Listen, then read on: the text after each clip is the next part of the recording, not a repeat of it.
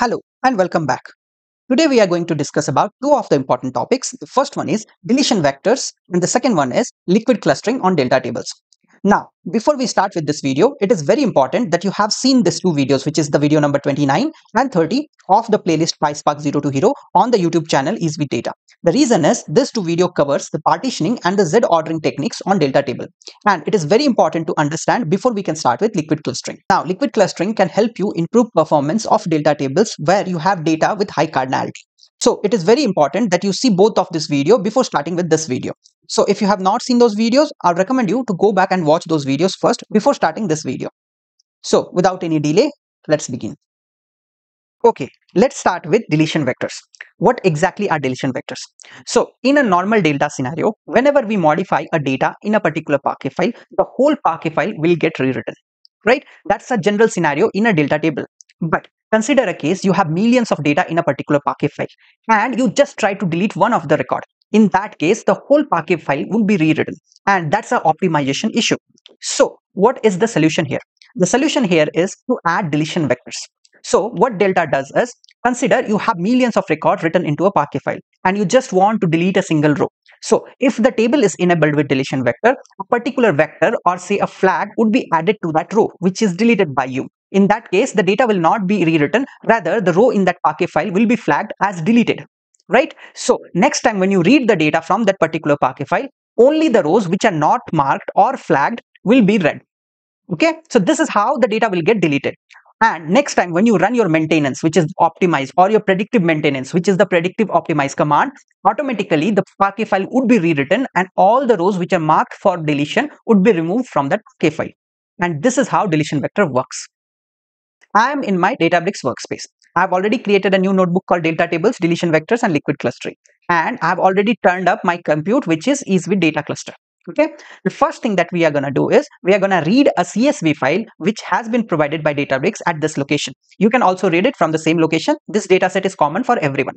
So in order to read a CSV file using SQL commands, we are going to use a utility called read files first okay? So before we do that let me just write a select command in order to see if we can read the data. Okay? So to do that i'll write select star from and we are going to use a utility called read files. Now the first thing that we need to do is we need to provide the path from where we need to read the file. So i'll just copy this from the top and i'll put it in single quotes. And next we need to provide it some options. So we already have header in this data. So i'll write header and with implies I'll write true and we also need to give the format. So the format for the data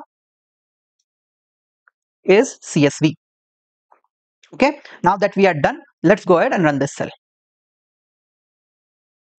Awesome. We can see the data is being read properly. It also has a rescued data column, which is generally used in case the schema does not match. But that is not a concern for us right now. So we are able to read the data using this read files utility. Okay. So let's go ahead and create a table on top of this. To do that, I'll just use a CTAS command. So I'll write create table and we'll do it under dev bronze. Okay. So I'll write dev dot bronze dot sales and I'll put as.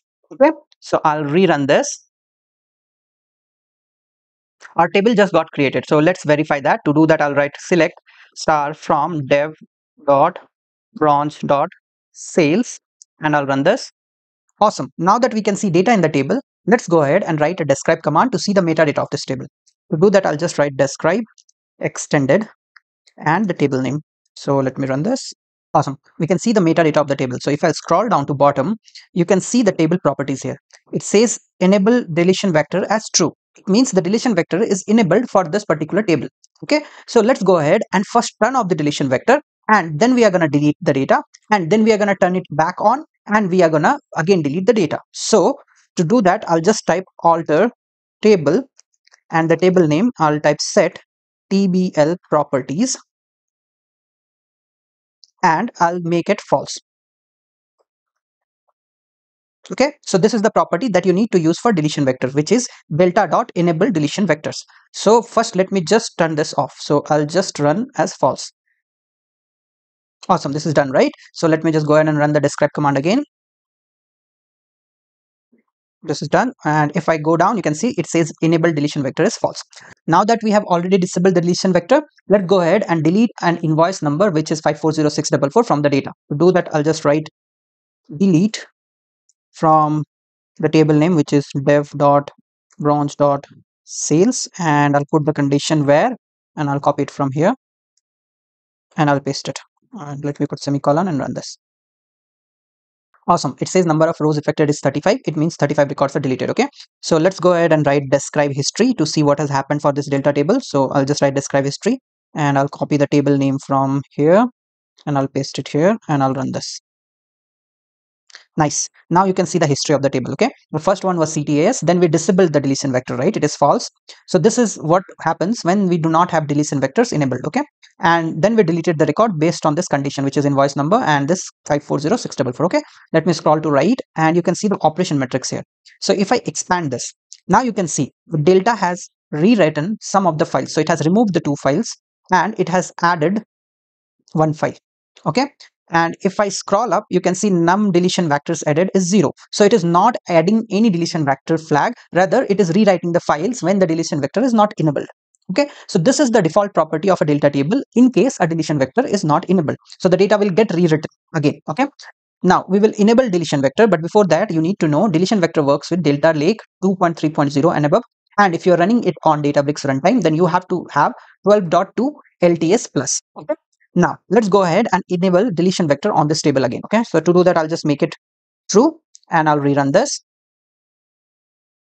So it says okay. Let me just go ahead and run the describe command here. As soon as I do that, scroll down, you can see the property here, deletion vector enabled is true. Okay, so it, it has enabled the deletion vector. Let's go ahead and remove another invoice number from this table. So I'll just go up and copy one of the different invoice number from here. So I'll scroll down and now I'll delete this invoice number from this table okay? So let me just run this. It has deleted four records now okay? So if I scroll down and run the describe history now if I scroll to the left so you can see the delete has happened. Before that we have changed the table properties. Set deletion vector as true okay? So you can see the delete has happened for that predicate. And you can see the invoice number here. Let me scroll to right and expand the operation metrics now. Now if you see we do not have any files removed. Rather we have deletion vector added. Okay? So it has added for four rows deletion vectors were added okay? And if you see number of file added is zero it means the data is not rewritten. Rather it has added deletion vector flags for the records that we have deleted. And later when we run the maintenance or it goes into predictive maintenance which is the optimize command it will automatically remove those flagged records while rewriting the parquet file.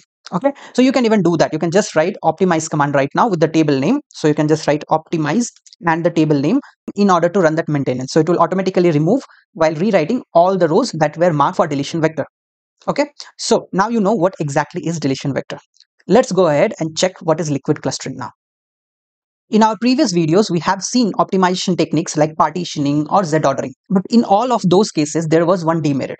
We have to rewrite the data whenever we try to optimize the table. But there is one neat way. Delta table has introduced something which is called liquid clustering. So whenever you enable liquid clustering on a particular column in a delta table, you don't need to rewrite the data. The incremental data will automatically get adjusted as per the cluster column that you have mentioned. Okay. So what are the scenarios where you can go ahead and use liquid clustering? So you can see here the below examples. So in case you have a high cardinality column on which you need to filter data, you have significant skew in your data or your data is growing too quickly, okay and in cases you have different access pattern of the data or in case you have some data where you have too many or too less partitions okay? In case of liquid clustering delta table will take care of properly repartitioning the file sizes for the clusters that you have selected for the data okay? You don't need to worry about it. Only thing you need to do is you have to provide the cluster columns on which you want to query or you want to filter or you want to join your data okay now I'm back in my Databricks workspace. So in order to use liquid clustering, you need to have Delta Lake with version 3.1.0 and above. Or you can use Databricks runtime with 13.3 LTS or above. Okay. Now, in order to do a liquid clustering on an existing table or on a new table, you just need to provide one thing that is cluster by. Okay. So we already have our sales data here right now. Okay. With this table. Let me go ahead and copy this from here. And if I scroll down, I just need to type on an existing table, alter table. I need to provide the table name and then I just need to write cluster by and the column name on which I need to cluster. So consider I want to filter the data based on invoice number. So I'll use cluster by invoice number. Okay. And I'll just need to run this. Awesome. The command completed, right? Let me just go ahead and write describe history and the table name. And let me just run this.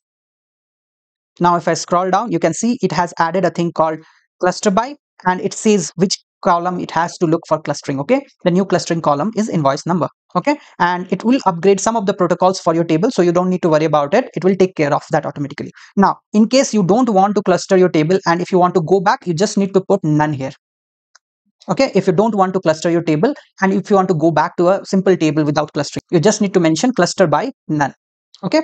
So this is how clustering can be done what if you want to do on a new table? In that case, while creating the table, so I'll just copy the create table from top.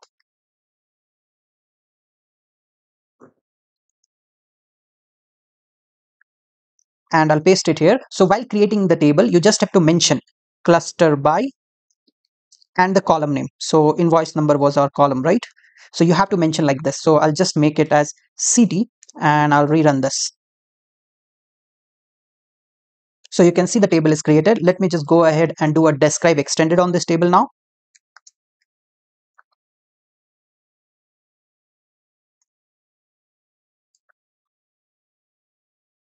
Now, if I scroll down, you can see here, it says clustering columns and you can see invoice number.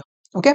You can have more than one column as clustering columns. Plus, only limitation is you need to have the column within the first 32 columns in the delta table. Okay that is the important point that you have to note. That is the limitation. Other than that you now you don't need to worry about anything. You can just go ahead and do a select star from this table. Only thing that you need to do is you have to make sure that you are using the clustering column in the filter or the predicate. So if i do a select star from the table where i'll just put invoice number and i'll paste it here. Okay? If i run this now you can see this has run so fast and this will become evident as you grow your data millions and millions.